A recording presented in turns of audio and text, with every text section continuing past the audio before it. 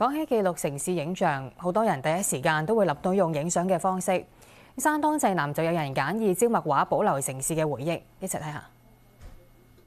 上世紀三十年代嘅泡特泉，五六十年代嘅大明湖，一幅幅畫作呈現舊時濟南風情。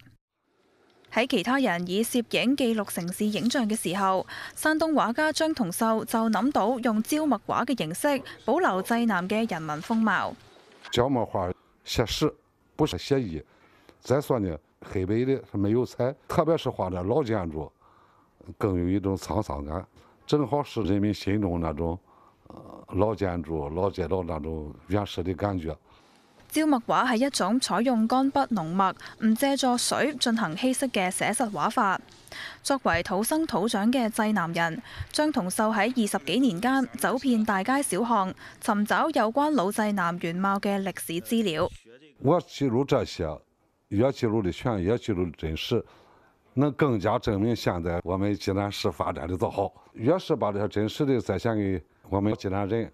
让这个新济南人越觉得我们的现代发展的多快，和国外作为一个文化交流，让他们看看我们济南原来的样子，以及现在发展的现代化的这个状况。